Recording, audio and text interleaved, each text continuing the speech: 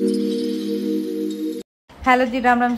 तो स्वागत है तारा मेरे एक और नई वीडियो में। आज मेरा है बर्थडे तो मेरे बर्थडे सरप्राइज़ देखो। ये मेरी फ्रेंड और मेरे जो फ्रेंड थे, वे सारे गिफ्ट लेकर आए मेरे खातर। तो केक मेरी पसंद का बनवाया ना तो हमने किस्सा लग गया, मैंने कमेंट करके ज़रूर बताइए और पूरी वीडियो देखियो बर्थडे पे क्या क्या सरप्राइज़ मिले।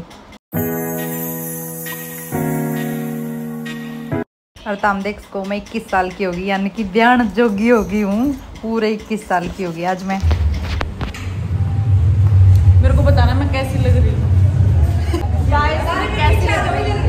चुगने वाली लग रही है ना? सही है।